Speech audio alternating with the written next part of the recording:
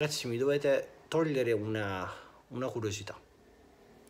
Io sono un esperto nel settore della sicurezza, sia personale, sia la sicurezza di beni, ok? È quello che faccio, quello che mi occupo da tanti anni, che faccio nella vita fuori da YouTube.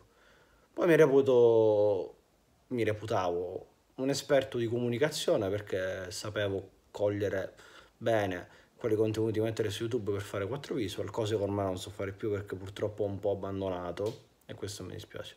Ma chi dice di essere esperto del trading, del forex, eh, cioè, e magari nella vita fa tutt'altro, io non lo so.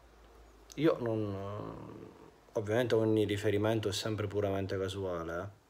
non sto facendo nome e cognome di nessuno, qua uno deve un po' spaventarsi anche a dire la sua, eh?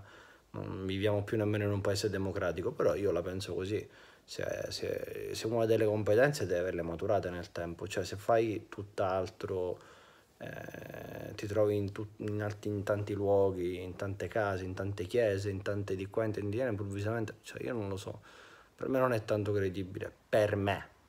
Questo non sto, non sto dicendo o diffamando eh, qualcuno, sto dicendo che chi ha delle competenze veramente fa vedere, cioè come posso dire, chi opera in questo settore farà vedere che avrà delle licenze, delle cose, io non l'ho vista, poi magari mi sbaglio, magari eh, questi qua domani fanno un video contro di me e dicono guarda che io ho tutte le licenze e le fanno vedere a peso, ok. Allora a quel punto va bene, anche se non so se ci voglio licenze, non, io non, non, sono ignorante sotto questo aspetto, sono un ignorante per cui se sto sbagliando, sto dicendo cazzate, mi assumo la responsabilità.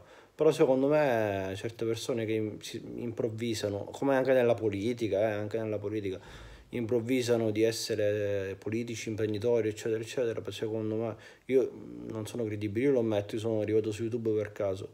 Eh, poi nel tempo ho acquisito una conoscenza che poi elementare, attenzione, perché non, una cosa che hanno fatto in molti di poter capire quali sono i video che vanno, che non vanno. Ora non so più, ne- non so nemmeno quanto farà questo video e neanche mi interessa. Però io posso dire una cosa, io il mio lavoro vero, cioè non il gioco di YouTube, di Instagram, eccetera, preferisco tenerlo per me. Sì, ne parlo, ne chiacchiero qua, ogni tanto ho spiegato cosa faccio, ma io sinceramente le mie competenze, i corsi che faccio, che farò, di aggiornamenti e cose, preferisco tenerle per me, anche perché è una tipologia di lavoro che non richiede investimenti o altro, per cui non ho altro da aggiungere. Buonanotte.